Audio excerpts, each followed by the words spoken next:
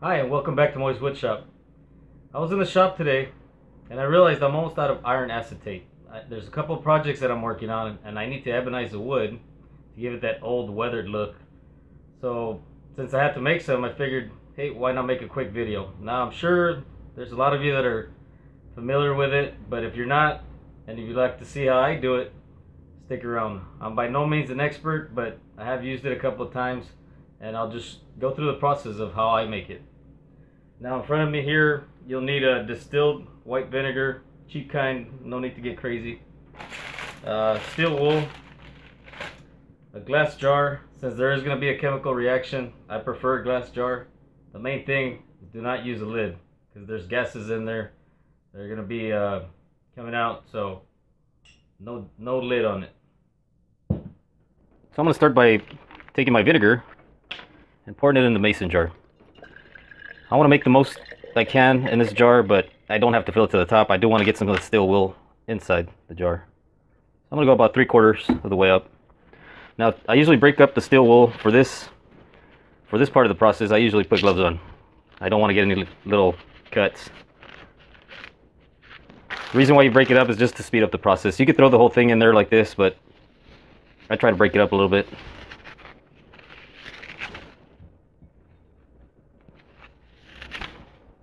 Just get it all in there.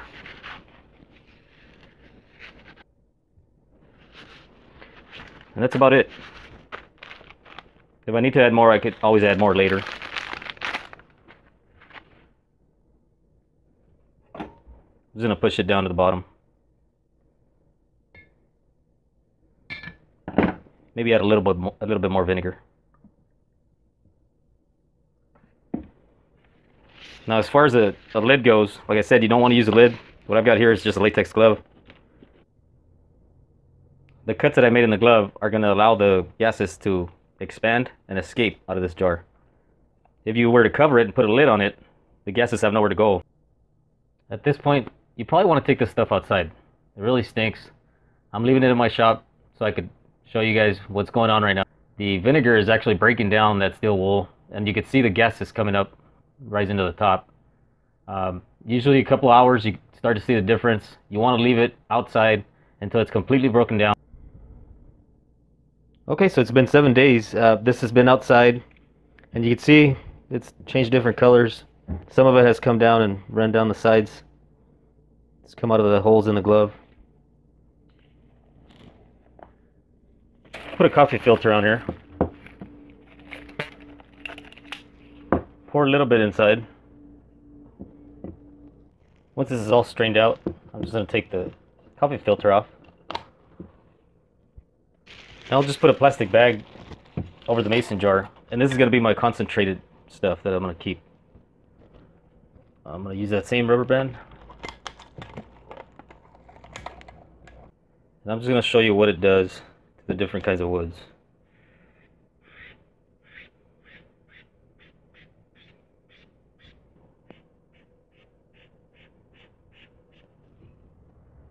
I'm just gonna let this dry for a second.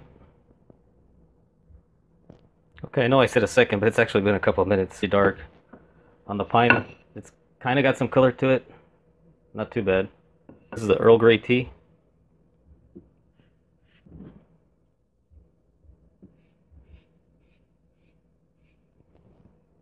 And I'm going to let that dry for a couple of minutes. Okay, the Earl Grey tea is dry now. I'm just going to add some water to my concentrated iron acetate. Shake it up.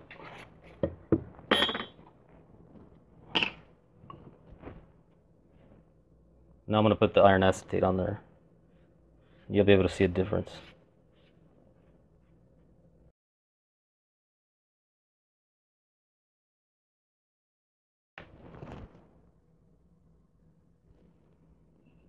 So here's the difference on the pine. The left side is with Earl Grey tea, and then the iron acetate. This is the iron acetate by itself. I like this color better. A lot more gray on there than there is on this side. On the oak, not too much difference. It's a little bit darker, but not too much of a difference. On the cedar, same thing. What I have here is food coloring, just plain old food coloring. Just drop a little bit in there. Mix it up.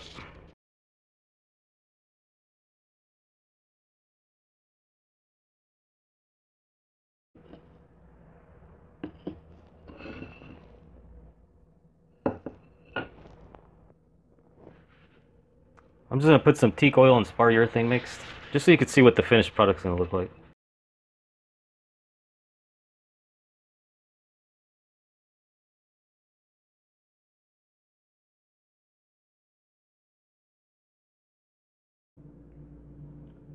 Well, that's all there is to it. It's very cost effective, very simple to make.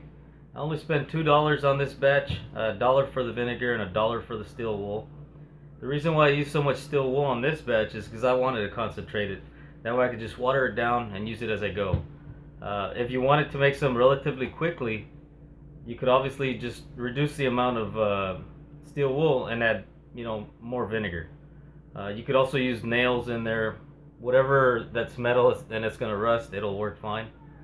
This batch took about seven days to get uh, completely reduced to nothing.